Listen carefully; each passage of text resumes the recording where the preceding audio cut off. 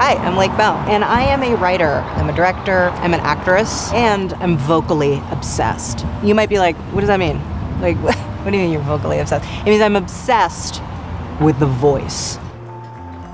In my audiobook, Inside Voice, I take my obsession to the wider world and really get to the heart of the matter. Let me ask you this. Let me ask you, I'm just curious about voices. When you hear your voice, TJ, when you, given your amazing voice, when you hear your voice, Antonio, how do you feel about it? How do you feel about it? How do you feel about it? Well, my impression is is like someone professional, like a newscaster. My relationship with it has gotten a lot better. Does it sound like you think it would sound? No, it don't. I can't believe that's me. I sound different in my head. It's stranger, my voice. It is very different to how I hear inside. Do you like it? Do you like the sound of your voice? I do. I hate it.